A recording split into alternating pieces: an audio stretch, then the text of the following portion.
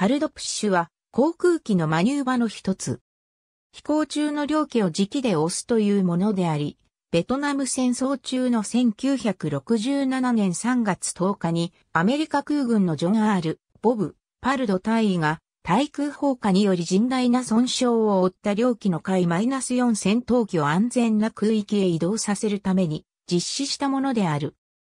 1967年3月、対空軍ウボン基地を拠点にしていたアメリカ空軍第8戦術戦闘飛行隊第433戦術戦闘中隊所属のボブパルド大域中尉と両機である RA 面。大域中尉はハノイの真北にある北ベトナムの製鉄所を攻撃しようとしていた。ウボン基地第8戦術戦闘飛行隊所属の海 -4D ファントム2。1967年3月10日、空は晴れ渡り、爆撃に適してはいたが、両機とも地上からの対空砲火に被弾してしまった。特に A 面帯域の損傷は深刻で、燃料タンクに被弾したことで急速に燃料が失われていった。燃料の漏出によって A 面帯域はラオス領空で待機している KC-135 空中給油機までたどり着くことが不可能になってしまった。A 面帯域とホートン注意の両名が敵地上空で脱出するという事態を避けるために、パルド隊は、時期で、A 面隊域をラオス領空まで押すことを決意した。最初に、パルド隊は、A 面隊域の機微にあるドラッグシュート収納部を利用して、時期の機種で押そうとしたが、これは乱流に邪魔されてしまった。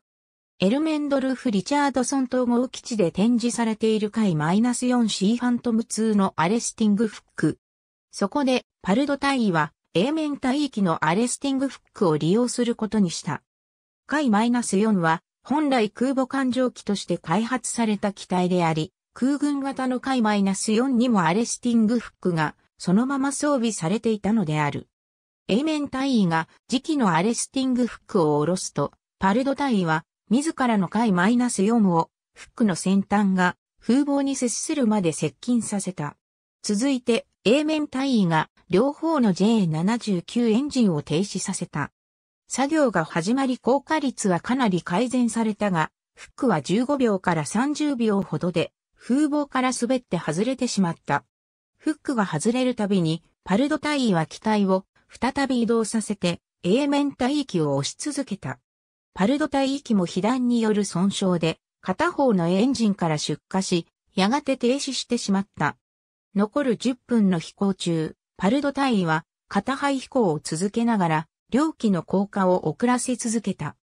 パルド帯域はほぼ88マイルにわたって A 面帯域を押し続け、ついに高度6000フィートでラオス領空に到達し燃料が底をついた。この高度は彼らに約2分間の猶予を与えた。4人は脱出し、捕虜になることなく、救難ヘリコプターに救助された。パルド大尉は当初、自らの機体を救う努力を怠ったとして、懲戒された。しかしながら、事件から20年以上が経過した1989年に、軍は再検証を行い、再評価の後にパルド元大尉とウェイン元中尉の両名はシルバースターを授与された。パルド大尉とエイメン大尉は事件後も空軍でキャリアを重ね、二人とも最終的に中佐で退役した。後年、パルド元中佐は、かつて彼が救った、永面元中佐が筋粛性側索硬化症によって、声と体の自由を失ったことを知った。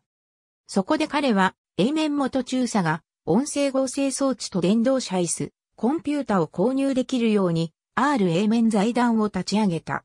財団とレッドリバーバレー戦闘機パイロット協会は、後に一台のバンを調達する基金を立ち上げ、そのバンは、A 面元中佐が亡くなるまで移動に使用された。